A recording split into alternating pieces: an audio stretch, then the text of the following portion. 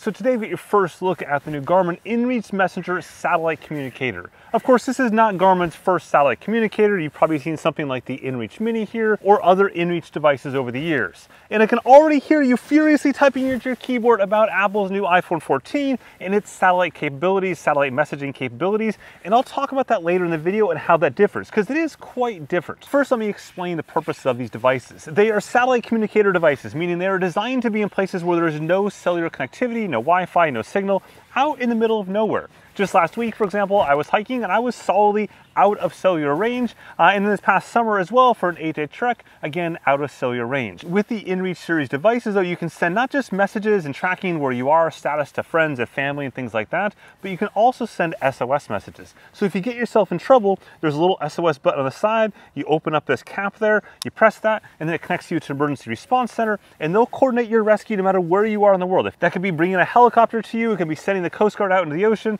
that's sort of the point. And of course, with that, you do pay a subscription fee. Uh, it ranges from about $12 a month if you buy annually, all the way up to 65 bucks a month uh, if you buy it monthly for all the features enabled. So then, how is the new Messenger different from the InReach Mini? Well, they're both similar that they have the ability to send messages, quick messages, for example, saying I'm checking in at camp or I'm starting for the day. They also have the ability to type out longer messages either on the device themselves, this has a little screen on the front of it, or the ability to use your smartphone paired to it to type out longer messages.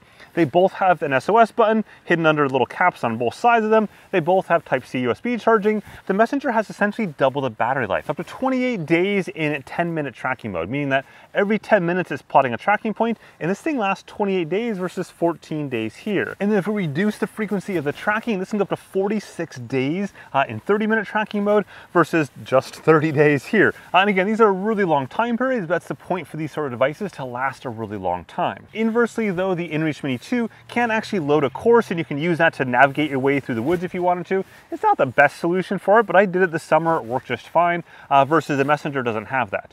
But what the Messenger brings with it is a brand new app called, well, Messenger. A little confusing, Messenger device, Messenger app, but that Messenger app is gonna be available for other InReach devices. And I'll put the list on the bottom right there, including the Mini InReach 2.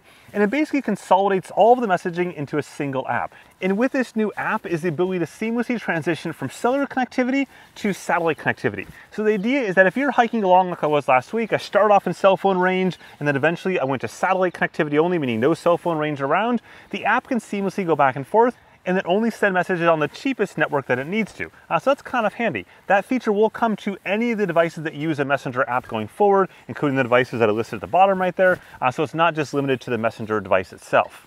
Meanwhile, the messenger device also has one last interesting party trick. You can reverse charge on it. So you can use the battery in this device to go ahead and charge something else, in particular your phone, for example. So you plug your phone into this, uh, it's not wireless charging, so you plug your phone in, then you go into the menu and enable reverse charging. That reverse charging will stay on for 20 minutes at a time. So it doesn't want to completely drain the battery on this uh, because otherwise you'd be in a bigger pickle than you probably were. The idea being to give you just a tiny bit more charge perhaps on your phone to send a longer, more complex message that while you can type it out manually on this device is really kind of cumbersome or perhaps to simply get maps on your phone or some other thing that you may have in your phone, but you need just a tiny bit of battery life to do that. Note that that reverse charging is not available once this device drops below 25% charge because it wants to preserve its ability to send an SOS message. So with that, let me just show you the interface on the device and how it all works, and then we'll talk about the Apple comparison. Okay, so this is the InReach Messenger device, and this is the InReach Messenger app. I'll put the app aside for the moment. We'll come back to that in just a second. And here is the device itself. Now, to be really clear, you do not need the phone at all for the device. You can use this totally standalone. I'll show you that right now.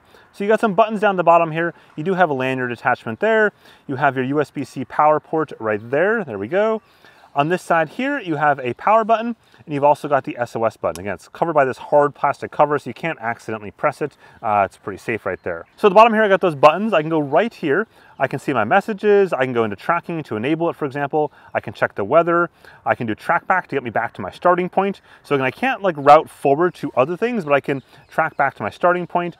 I can check my service plan and I can go into settings. So we'll go here real quick to tracking. Uh, and you can see the last tracking point that I set it was at 4.30, uh, but I can go ahead and go back and then go into weather, for example, and I can request a basic forecast. I did that a little bit ago. Uh, so you can do basic forecasts, more advanced forecasts, different levels depending on your service plan. We'll go back here again. Uh, here is trackback. This will get me back to the starting point, but again, it's only recording a point every 10 minutes, so it's really not all that often. Uh, but again, it'll get you back to kind of where you're going from. You can see when I do that, you can look at how long ago, the time, uh, and the distance that I want that point to be uh, to track back to. Going all the way back to uh, earlier this morning when I started this up. Once you choose a point, you can follow the path or go straight line. So you basically can choose to track back on the path that you took, or you can just do a straight line there. Meanwhile, here on messages, I can crack this open and see my existing messages, um, or I can go to the right and I can choose a new message. So here we go, choose a new message. I can select a contact from my list. So I'll choose uh, myself for now, there we go. I can choose a quick text message, meaning I'm basically going to choose a template one here. Um, so you can see a couple of templates I've already created and you can change these if I want to. So lots of options here and you can tweak these ahead of time. So you have like custom ones that are applicable for what you want, or I can go back and I can actually just out something. So let me just do this here type reply, and then I can type out a full reply.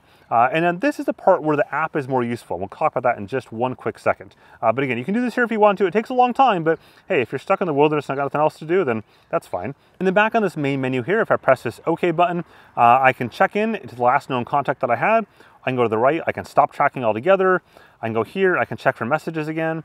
I can view my coordinates, or I can simply just close the menu. So now let's talk about the app. So the point of the app is basically to go ahead and do all the interactions on your phone as opposed to on this device. As you saw, if I wanted to type out a longer text message, kind of cumbersome to do it on this, but again, you do not need your phone at all. This is just the easier way of doing it. It uses Bluetooth from the app to your device, uh, and so you can do this in airplane mode, whatever the case may be. So in this case, if I go into settings, you can see some of the things I can change my tracking interval, how often I want to do this, for example, every two minutes or up to every four hours to save more battery. Uh, so this past summer when I was camping, uh, during the day, I kept it usually every five to 10 minutes, uh, but at night when I was camping, I basically tuned it down to every four hours or so. Uh, and so just you can do that there. You can turn auto track on, so every time you turn on the device, it automatically turns on.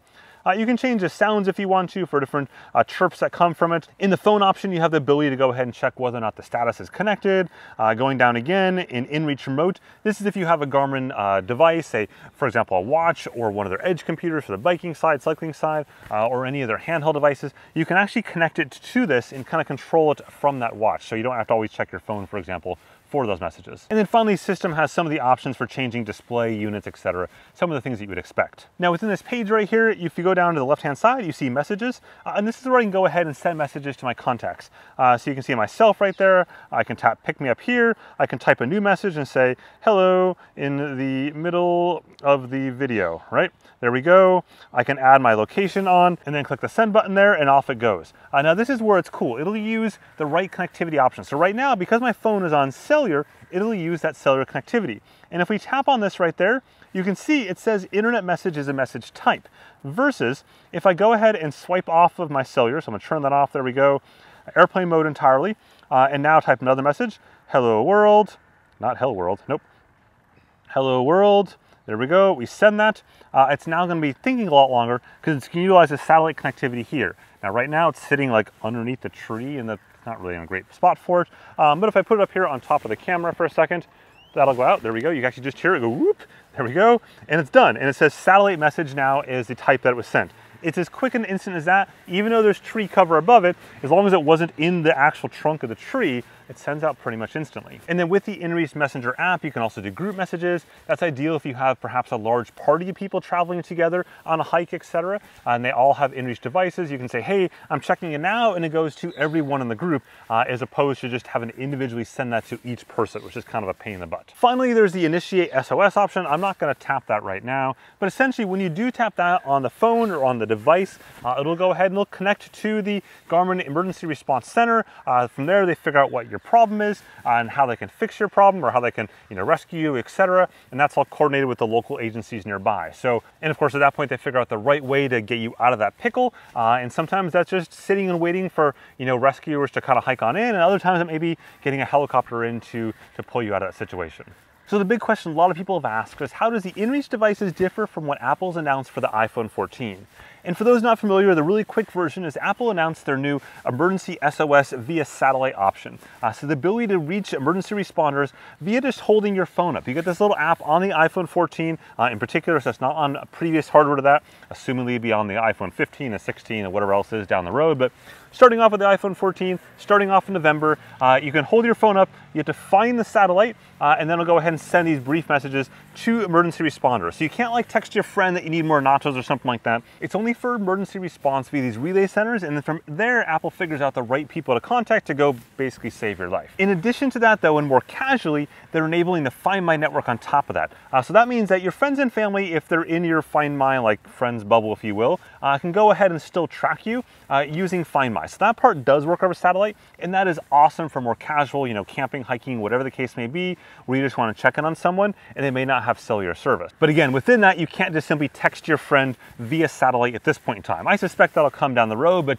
not today. Now, Apple says this will be free for two years, uh, but they didn't clarify whether that was like two years from then or two years from the date of purchase of your phone or what it'll cost after that, all that's just a little bit fuzzy. Now again, it is very, very cool and it will save many, many lives. And I'm really looking forward to seeing that get rolled out and I will test that and show how that compares down the road but it's also very different than inReach devices. Uh, so the very first thing to note is that an inReach device is totally global, meaning I can be in the ocean, I can be in you know, Canada, I can be in Africa, it doesn't really matter. Uh, it's all going to work there. Versus again, Apple's is at least initially limited to that one kind of area of United States and Canada, or at least a chunk of Canada. The next thing is that on InReach, you can send messages to anyone, uh, and they aren't just emergency messages, meaning that you can send it to a friend, a check-in saying, hey, I might need supplies up ahead in five or seven days, or I'm just checking in for the night that we reach camp. All those things are possible in InReach, customization of messages, long messages, short messages.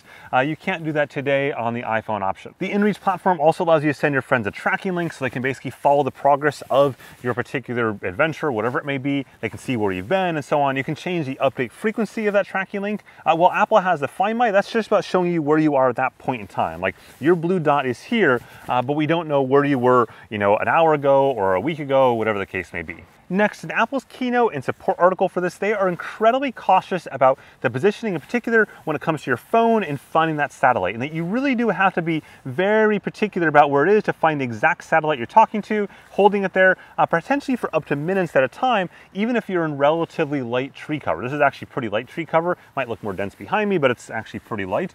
Uh, versus an inReach device, more or less just works. Uh, as long as you don't have this thing upside down, or even this one here, as long as it's not like really deep in the bottom of my bag, it pretty much works. It'll eventually find its connectivity uh, and it sent that message out. Again, in all of Apple support articles, they've been overwhelmingly cautious in their wording, even saying things like hills can get in the way of this. So it'll be really interesting to see in real life how well this actually works. On the flip side though, the InReach device requires a recurring monthly subscription plan. You can pause that if you want to. Uh, for example, you want to use it just in the summer and pause it for the winter, etc. Uh, but it is costly. You know, starting off at roughly 12 bucks a month in an annual plan, 15 bucks a month if you just buy it by the month. Uh, and the number of plans they have is super complex, super overwhelming. Uh, there's consumer plans and pro plans and three different styles of plans and then per text message, all this stuff. It gets really complex. It's just needlessly complex at this point.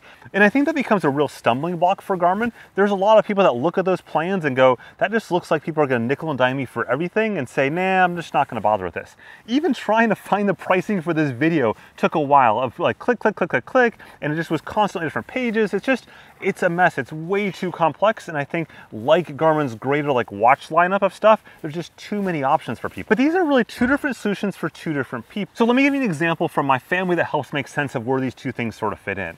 Uh, my father-in-law lives in Newfoundland, Canada. That's a part of Canada you fly over right before you sort of like hit Greenland. It's not that far like polar bears. They've eventually like wander down there and stuff like that. So middle of nowhere. And he goes towards even further the middle of nowhere uh, when he goes out in the summer and the fall, out to the cabin and stuff like that in that case, the iPhone option for him is perfect. When he upgrades his iPhone someday down the road from being like an iPhone 8 or something to, you know, an iPhone 14 or above, this satellite option is ideal for him for an emergency scenario. There is no way he's going to pay for an inReach device, let alone the inReach service. It's just not gonna happen. The iPhone is perfect for him and he lives in the right area that it would actually work out reasonably well. Inversely, you've got me. Uh, I am traveling constantly in different continents. I am, you know, deep in the backwoods, I'm deep in the mountains, etc. In that scenario, the iPhone option isn't really super ideal. One, it just doesn't have coverage, for example, here in Europe. Uh, and two, it may not have coverage in all sorts of other places.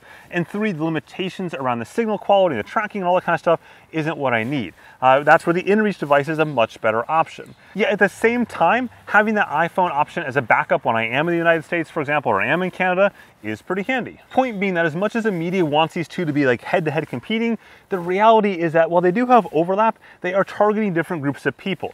Now, of course, down the road, three years, five years, seven years, whatever, they may be directly competing head to head, but not today. And that's probably gonna take quite a while until we get there. Anyways, down the road, I will do a full in-depth review of the Garmin InReach Messenger, uh, as well as also doing a full review of the iPhone 14 uh, SOS capability via satellite. Uh, once both of these things, I've got a bit more time on them and stuff like that. Hopefully you found this video interesting or useful. If so, go ahead and give a like at the bottom or subscribe for plenty more sports technology goodness.